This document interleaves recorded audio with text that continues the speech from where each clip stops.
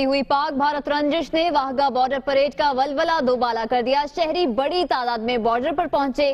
कहते हैं, हम भी पाक फौज हैं। जबकि सियासी रहनुमा शाह महमूद कुरैशी ने मीडिया से बात करते हुए कहा कि इंडिया के खिलाफ सारी कौम एक मुट्ठी की तरह है। लाहौर से सनौला खान की रिपोर्ट।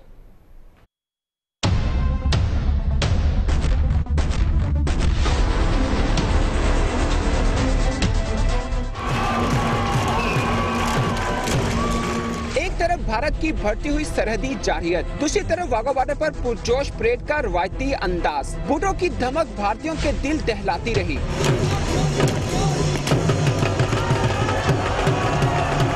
शहरियों ने नारे लगाए और खूब सिपाहियों के हौसले बढ़ाए। मेरी वाइफ और ये बच्चे हैं साउथ अफ्रीका से आए हैं। और इनकी विश थी कि जाएँ बॉर्डर पे और जाके देखें।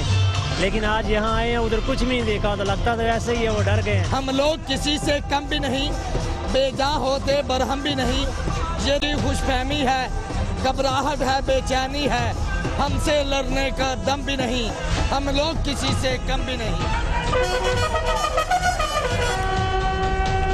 शाह महमूद कुरैशी पहुँचे तो मीडिया से बात करते हुए कहा कि भारत जंग की गलती न करे। इसके खिलाफ तमाम सियासतदान एक मुट्ठी की तरह हैं। पाकिस्तान के मफादात पर हम कोई कॉम्प्रोमाइज नहीं करेंगे। और जहाँ तक हिंदुस्तान का ताल्लुक है, ये जो पीछे मुझे उनका जो गेट दिखाई दे रहा है, अगर उनका ख्याल है कि हम आपस में तकसीम है, नहीं, आपके मामले पे हम यकजा हैं। इधर बड़ी तादाद में शहरी वाघा बॉर्डर परेड देखने पहुँचे, मगर सरहद के दूसरी तरफ़ जैसे शाम सूख गया हो। कैमरामैन फहीम हुसैन के साथ सनाउल्ला खान, दुनिया न्यूज़, लाहौर।